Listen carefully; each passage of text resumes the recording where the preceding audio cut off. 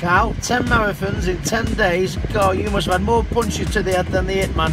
But fair play, everyone loves a challenge, me included, and all the best to you, mate. That's it. So, uh, one year ago, I said I'm going to do something stupid. Uh, a lot of people said a bit mad, a bit crazy. And today's the day that it all happens. Let's see what happens. Arrived in London at Trafalgar Square. This is where we're running from tomorrow.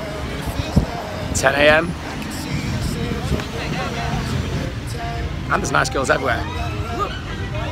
Yeah, I see you. Right, I'll see you in a bit. Bye. I just got to run a marathon today. Then wake up and run a marathon tomorrow. And another, another, another, another, another, another, another, another. I'm looking forward to this one though. That'll be a good marathon, the last one. Krispy Kreme! Right, it's going on. Um, so we've left, we've done the second marathon in two days. Eric completed two, Eric over here. That was hard though. That was the hardest one we've done so far. Number three tomorrow. I nearly held with the wrong amount of fingers. So I went to do that and then went number three. That's outside of three. Three.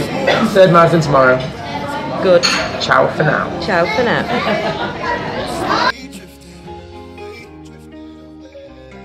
Wave after wave, wave after wave, slowly drifting, Traps are tight.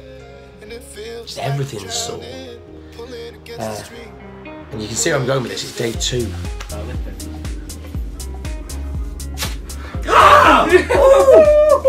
Just pulling my hairs.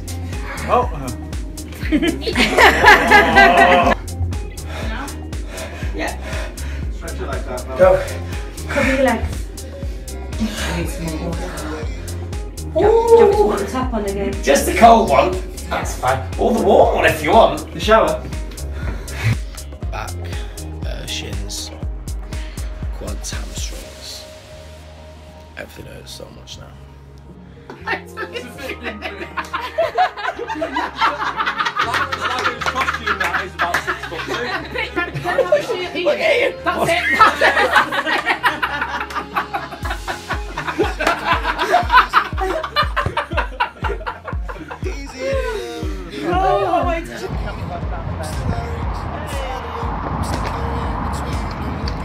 Johnny, on the bike.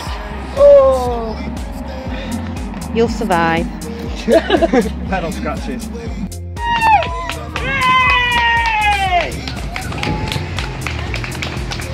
Well done.